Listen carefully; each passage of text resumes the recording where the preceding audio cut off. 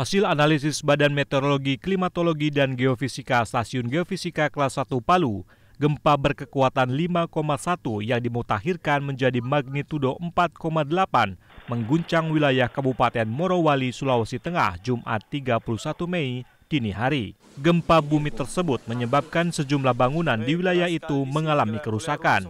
BPBD Sulteng mendata terdapat tiga desa yang terkena dampak gempa, yakni Desa Fatuvia, Desa Bahudopi, dan Desa Bahu Makmur. Tercatat bangunan yang mengalami kerusakan yaitu satu rumah warga rusak berat dan dua rusak ringan. Satu tempat ibadah, indekos, serta bangunan sekolah dasar rusak ringan.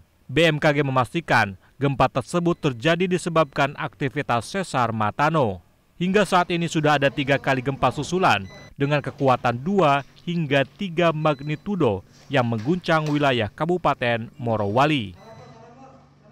Salah satu sesar yang aktif di Sulawesi Tengah hmm. uh, sama seperti Palu Koro, besar Matai dan lain-lain.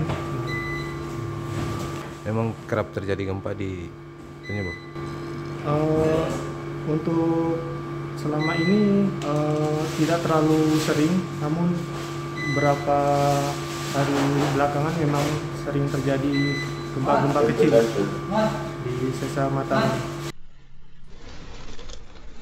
Meski demikian, tidak ada korban jiwa dalam kejadian ini. BMKG juga memastikan gempa yang berpusat di laut tersebut juga tidak berpotensi terjadinya tsunami. Dari Palu, Sulawesi Tengah, Rangga Musabar, Kantor Berita Antara, mewartakan.